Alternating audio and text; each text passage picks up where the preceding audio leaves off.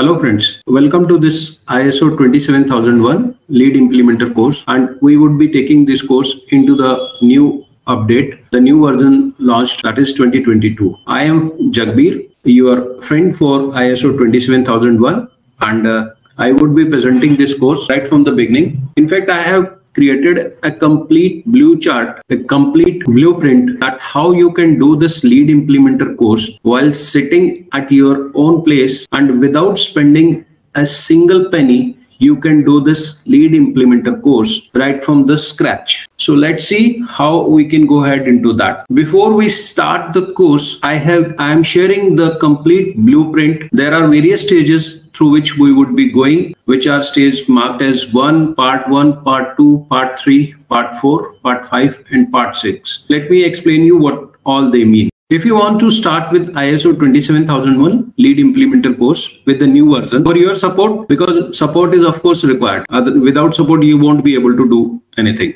So for your support, I have created a Telegram group. The you can search the group by the name ISO 27001 2022. The description of this Telegram group is also shared in this video description. You can find the same from there also. So the total uh, time or the duration required to complete this course is total 40 hours, which you can divide as per your convenience. Coming to the part one, the you have to uh, this is the intro part. The first uh, video that you have to go with is video part number one. Once you complete that video, then you will move to video part two. Same way, you will move to video part three and part four. Every video has given certain task and you, and your progress would be monitored based on the task given to you. And that video contains a practical exercise workbook also. Let me explain you one by one what all they are about. So you start uh, your learning here that is ISO 27001 22 2022 version lead implementer course in just 40 hours. For that, the first thing that you have to do is you have to subscribe to our Telegram group and uh, also please subscribe to my channel. The name of the channel is In Focus IT. The link of both Telegram and YouTube is being uh, shared in the description of this video itself.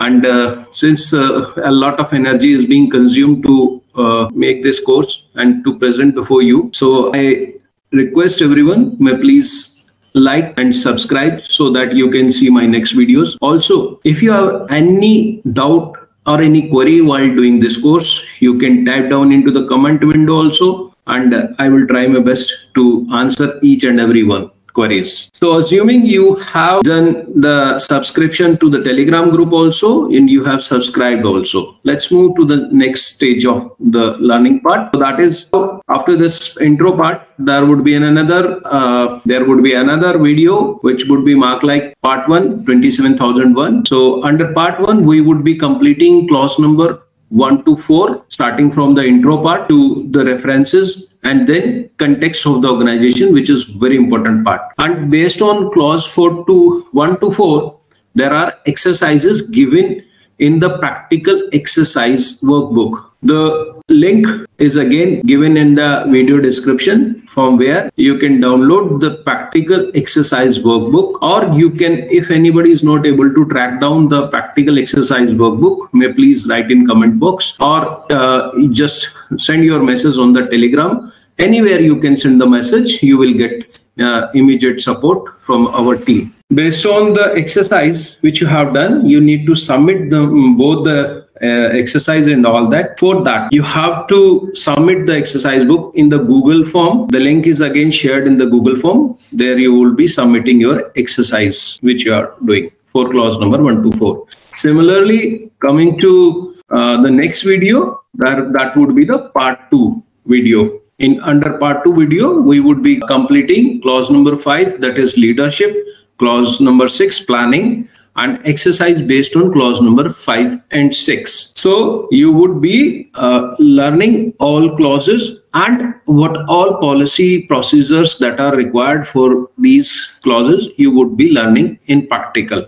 Once you are done with your video number 2 then comes your video number 3 which is uh, which would be covering clause number 7 that is the support clause clause number 8 operation clause and the policy process documents required for clause number 7 and 8 also there would be exercise given in the practical exercise book based on your clause 7 and 8 you need to complete all those exercise and submit the same over the using the google form. Then we uh, once you are done with your video number 3 then you have to come to the last video that is video number 4 part 4 under video number 4 you would be doing clause number 9 that is performance evaluation clause number 10 improvement and exercise based on clause 9 and 10 also in this video you would be learning about annexure A controls. What are the total annexure A controls? Right now in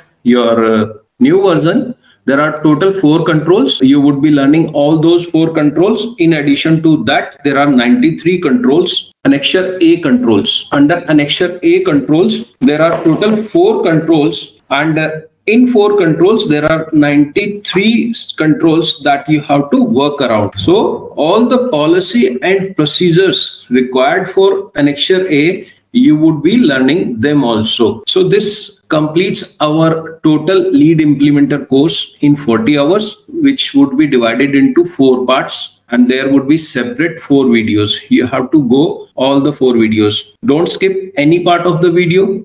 If you skip any part of the video, you won't be we won't be able to gain the understanding that what all is covered into that so systematically you have to go one by one. No shortcuts. Already the course is reduced in uh, the number of hours is already reduced. And if you really want to learn you have to go through the whole content. Then once you complete all the four videos and given exercise side by side you would be submitting your exercise based on the clauses in like you submitted some exercise in your part one of the video same way part two part three and part four. You are supposed to submit all those exercise from one to four using the google form given uh, in the uh, this link given in the description of this video. We would be evaluating your submitted responses. If your responses are found to be okay and we think that you are good to go and uh, you have gained good confidence and good knowledge out of the submitted exercises, we would be happy to share one certificate of your we would be so based on the submitted exercise workbooks from clause 1 to 10 and the other documents, policy documents, which are being told in the practical workbook. You are supposed to complete the given workbooks along with the some along into the Google Forms. And if your evaluation, once you are done with the exercise part, right from clause 1 to 10, covering the four videos you your response would would be evaluated and based on the response you would be provided a certificate of course completion for ISO 27001 2022 lead implementer course. So this is all the workaround and the workflow of the course. Recommend everyone to go through the complete course. Don't take shortcuts and complete the whole course side by side. Complete the workbooks that are given along with the videos. Anywhere you feel any difficulty, write down in the comment box or join our uh, because uh, or write in your telegram group. We would help you. There are so many learners who are helping each other and all that. So this is all the workflow of this course. Thank you and wish you a very happy learning. Thank you